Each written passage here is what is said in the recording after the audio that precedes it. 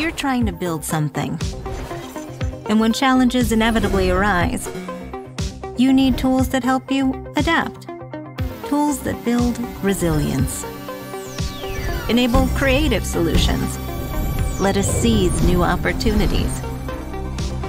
Like the development team at Condé Nast, publisher of Wired, GQ, and Vogue, whose international growth meant dozens of disconnected technology stacks, which they were able to integrate into a single centralized set of deployment and repository tooling.